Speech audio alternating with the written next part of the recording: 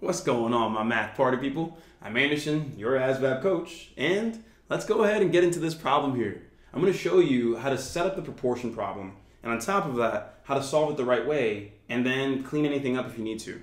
So, if you didn't know, I do host a class every week, three times a week, and you can get all three classes and the recordings in case you can't make them as part of my program.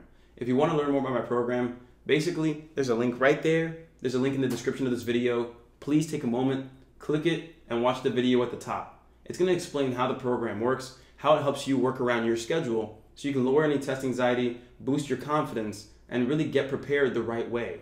Without that hoping and wishing that you're going to pass, but actually get into test day knowing what you know, knowing what your strategies are going to be, and then walking out of there knowing that you did your best.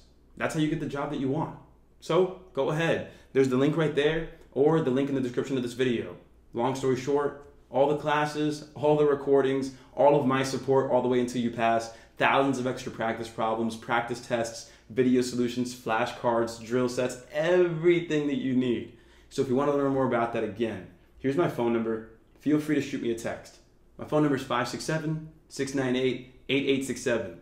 My students succeed more than anybody else, and I'm proud to say it. So let's go ahead, let's get started on this problem. I'm going to show you why I should be your ASVAB coach. So we're looking at this and we might be really tempted to start off by reading the question from the beginning to end. Don't do that. So here's what I mean. A lot of people go, it takes Emily 18 minutes to finish reading for. No. Here's the thing. When it comes to solving questions or solving problems, you first need to know what you're looking four. So it's always a wise move to just start straight with the question. That's the most important part of the problem, the question, because you need to know what you're solving for. So right here, at this rate, how long would it take Emily to finish the novel? So here's what I'm looking at right now. At this rate, what that tells me, what that tells me is that there's going to be a ratio, a proportion here. There's something happen consistently. There's something happening consistently. So for example, if I'm driving 20 miles an hour, at that rate, how long will it take me to get, you know, 200 miles away? Or in this case, we're talking about pages, pages per minute. So in that case, we're looking at a proportion here. You know, you can say it's a rate problem because it absolutely is as well, but we can look at this as a proportion because it's going to be a little easier for us. So what are we looking for again? Right here. How long would it take? So we're looking for time to finish the novel. Sounds good. Sounds good. So that's what we're looking for.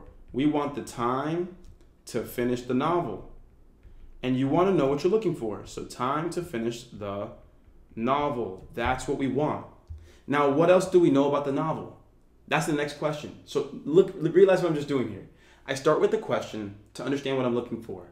Then I look at the information to see what information is related to the question. The novel and time for the novel. What information do we have there? So here, it takes Emily 18 minutes to finish reading four pages. I am absolutely going to write that down. 18 minutes to finish four pages. So right over here, 18 minutes is directly related to four pages. I think we can all agree on that, right? 18 minutes for four pages.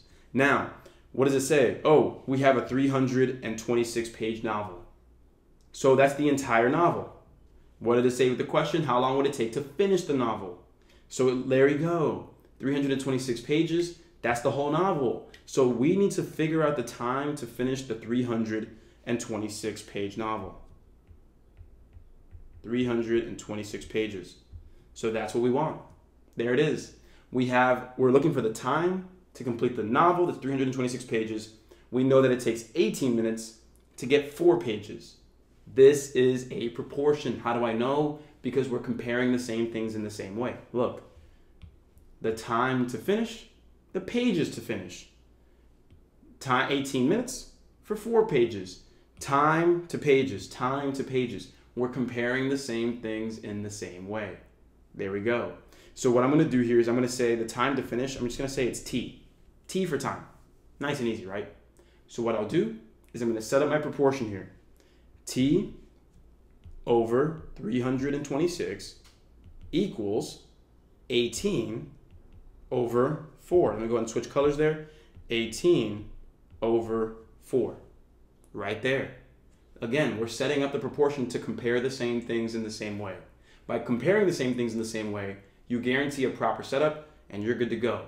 And now don't make any mistake here. You can set this up a few different ways. You could have set it up flipping both. You can compare time to time and pages to pages. So many different ways. I'm going to show you in tonight's class how to get that done. But without further ado, how do we solve this proportion? What do we do now? What we're going to do now is we are going to solve this by either cross multiplying and dividing or making sure that we can find some sort of convenience to make our lives a little easier. Here's what I mean. A lot of us are so used to, so, so used to going ahead and cross multiplying and dividing. But I'm going to tell you right now, don't do that. Simplify first before you do that so that you can deal with smaller numbers. What am I saying? Watch this. 18 and 4. Let's simplify that fraction. Because think about it. At the end of the day, would you rather multiply by 18 and 326? Or would you rather multiply by smaller numbers if you could? Smaller numbers, they're always the best. So let's simplify first. 18 divided by 4, what do they have in common? Well, you can divide 2 from both the numerator and denominator.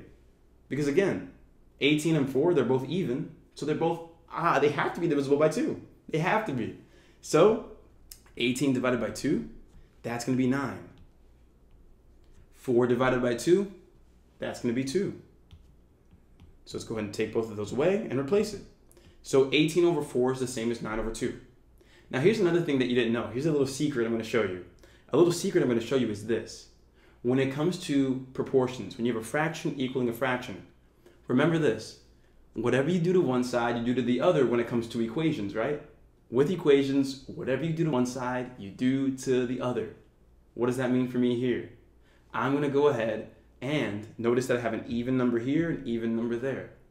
I can divide both denominators by 2. Again, do the same thing to both sides. So what I'm going to do here is say, hey, look, I can divide the denominator here by 2. I can divide this denominator by 2. I know not many people know that, but yes, that's a legitimate move. You can do that. So if I divide 2 by 2, I can go ahead and turn that into a 1. 326 divided by 2, you should know this because you can th think about it like this. 320 divided by 2, well, 32 divided by 2 is 16. So 320 divided by 2 is 160, and then 6 divided by 2 is 3. So 163. That's a little bit of mental math for you, but that's not the type of mental math that's super hard. You know, that's definitely something that I know you can do with the proper time. But look at what we have now. I'm looking at this and I'm saying, yo, this is actually clean because now when I cross multiply and divide, well, it's t times 1, so that's just going to be t. And then we have 163 times 9. Okay, that might be the only tough part. But that's actually pretty straightforward because they're smaller numbers. Imagine dealing with 326 times 18. That'd be way, way, way too long. So here we saved ourselves some time. 3 times 9 is 27. There we have that. Then 6 times 9 is going to be 54. Bring that 2 back to get 56. And then 1 times 9 is 9. Add that 5 back is 14. So we have 1,467. What does that mean? That's the number of minutes it'll take. 1,467 minutes. Now, you may be looking at this and you're saying, well, hey, coach, uh, look at those answer choices. The answer choices don't say 1,467 minutes. And you're absolutely right. You have hours and minutes. So this is a little bit of a challenge question because now you have to convert your minutes into hours and minutes. And the way that we'll do that is simply divide by 60. We know that every hour is 60 minutes. So to go from a small unit like minutes to a big unit like hours, we have to see how many times these minutes can fit in terms of 60. So we'll divide by 60 here. So I'm gonna keep that right there. And what I'll do is I'm gonna convert right here. 60 minutes. How many times can one hour fit into 1,467 minutes? The remainder is the remaining number of minutes. Watch this. 60 going into 1 doesn't work. 60 going into 14 doesn't work. 60 going into 146, that's twice. That's two times. 60 times 2 is 120. You got yourself 26 left over. Bring yourself that 7, bring that down. And now what you have is 60 going into 267. I know that 60 can go into 240 because 6 goes into 24. So 6 goes into 240 four times. So now that I'm there, I'll subtract 240. Hopefully my big old head doesn't get in the way. All right, sweet. So then we have ourselves uh, 27 left over. We have ourselves 27 left over. And so with that, that's your remaining number of minutes. I know it's right there above my big old head, but this is the number of hours, and that's the number of minutes right here. So your final answer should be this turns into 24 hours and 27 minutes. And there we go. That's going to be the answer, my party people. So if I check that out, boom, 24 hours and 27 minutes. That is answer choice C, and we are good.